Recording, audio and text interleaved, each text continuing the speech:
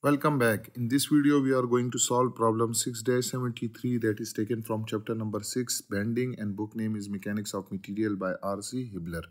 So statement is determine the smallest allowable diameter of the shaft which is subjected to concentrated forces. The sleeve bearing at A and B supports only vertical forces and the allowable bending stress is 22 kSI.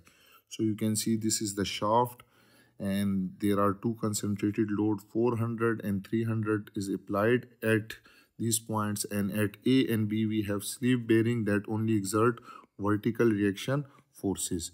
So allowable bending stress is given so you have to find the allowable smallest allowable diameter of the shaft. So let's start with the solution. So first step is that if you remove this bearing sleeve bearing at point A so you will be having reaction force RA and similarly if you remove this bearing so you will be having a reaction force rb which is exerted by bearing on this shaft. So we'll find this ra and rb the free body diagram is already shown over here already drawn. So we will find this ra and rb by using equation of equilibrium. So first equation of equilibrium is that sum of all moments about point a is equal to zero and taking the counterclockwise moment as positive so about point A, the first moment will be this 400 into perpendicular distance is 12 and this is producing clockwise. So it will be negative. The second moment will be this RB and now perpendicular distance is this 30 inch and this is producing counterclockwise movement so it will be positive and third moment will be 300 into perpendicular distance is this 45 inch and this is producing clockwise. So the sum of all the moment about point a must be equal to 0 so i will write minus 400 into 12 plus rb into 30 minus 300 into 45 will be equal to 0 so when you solve this you will get this rb will be equal to 610 pounds now you have this RB, we can find RA by using equation of equilibrium that sum of all forces along y direction must be equal to 0 and upward force is taken as positive. So RA is upward minus 400 which is downward plus RB which is upward and that is 610 minus 300 pounds is equal to 0. So from here RB, RA is RA minus 90 is equal to 0 so RA will be equal to 90 pounds. Now you have RA and RB so we will draw the shear force and bending moment diagram. Why we draw it? Because we need we have allowable bending uh, bending stress. So we know that allowable bending stress is maximum bending moment into C divided by I. So we will need bending moment diagram in order to find the maximum bending moment.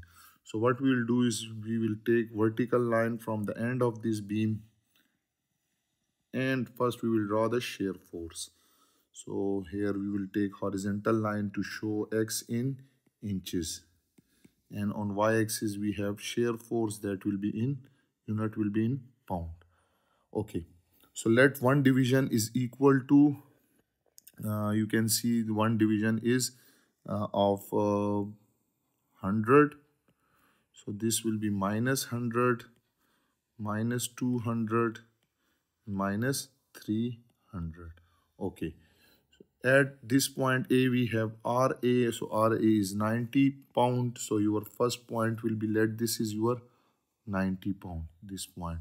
Now moving from point A till point of 400 pounds, there is no other shear force. It will remain horizontal. Clear? So this 90 will be horizontal till this point. Now at this point we have 400 downward so 90 minus 400 will cause it to change it to minus 310. So shear force will change to minus 310 and it will be downward. So let this point is minus 310 pounds. So it will change to downward. Now again moving from this point till this point there is no other shear force so it will remain horizontal till this point and we will get a horizontal line this is minus 310 now at point B we have RB which is upward so minus 300 plus RB is 610 will cause it to go to 300 pounds.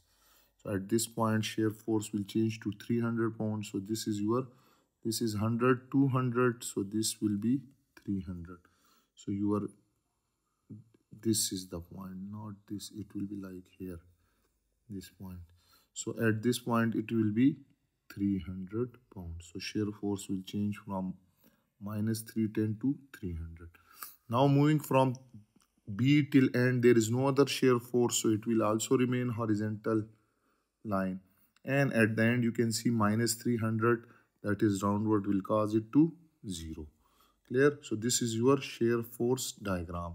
Now with the help of this shear force diagram, we will draw the bending moment diagram. For that, I will draw a horizontal line to show the length x in inch and on y-axis we will have moment that will be having unit pound into inch. Let each division is 100 uh, you can choose at per your scale 2000 similarly minus 1000 minus 2000 minus 3000 and minus 4000 and minus 5000 okay so at point A, at origin, we have moment will be equal to 0 because x is equal to 0. Now the area under the shear force diagram will give you bending moment. So this is the first area that this is A1 and this area is equal to 90 which is the height and this length which is 12. Clear? So when you multiply it, it will give you 1080. So at this length, we have moment 1080. So it will be somewhere here. So let this point is 1080. Now you can see shear force is a horizontal line with 0 degree and this area is positive. So bending moment will be 1 degree higher. It will be a linear straight line and the slope will be increasing. So we will join these two points. Okay, this is the point, not this point. This will be the point. Let me correct it. Let this point is 1080. So this is the first point. Now the second area is this area and this area is let this area is A2 and this A2 is equal to this length which is minus 310 into width 18. So this will give you minus 5580. Clear? So moment at this length will be equal to 1080 plus minus 5580 will cause it to minus 4500 and this will be somewhere here. Clear? So we will first locate this point. So this point this is minus 5000 so this point will be somewhere here.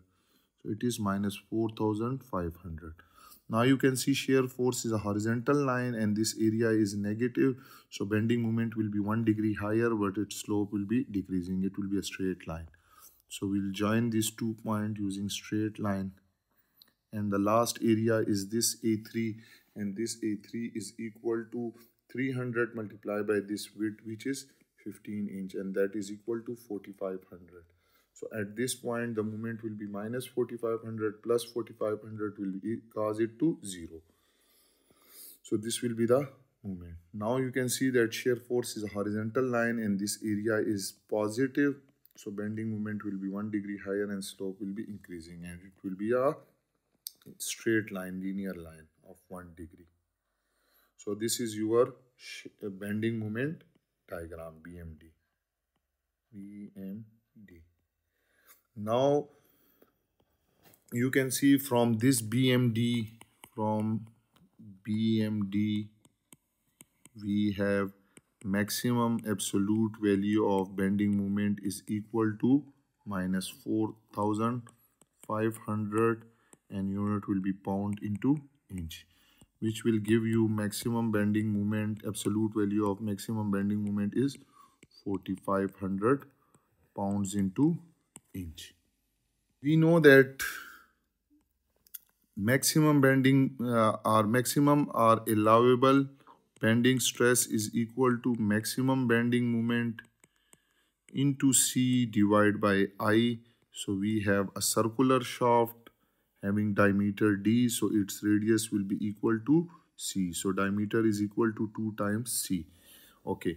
So we are going to find the radius and then we will convert it into c and i for I is the moment of inertia and moment of inertia for circular shaft having radius is equal to pi by 4 c power 4 where c is equal to radius. Clear? So you can put the value sigma allowable bending stress is given as 22 ksi. So we will write it uh, 22 ksi. So 22 into 10 raised to power 3 will be equal to 22 into 10 raised to power 3 psi pound per square inch. Maximum bending moment is 4500 pound into inch and c is there divided by pi by 4 c power 4 so from here you will get this one c will cut with this. So we will be having c3 so i will write c3 is equal to 4500 divided by pi by 4 multiply by 22 into 10 raised to power 3 and when you take the cubic root on both sides using your calculator so you will get this c will be equal to 0 0.639 inch. Now you will need the diameter. So diameter we know that diameter is equal to 2 times of radius which is c. So i will write 2 multiplied by 0 0.639 inch and this diameter d will be equal to 1.28 inch.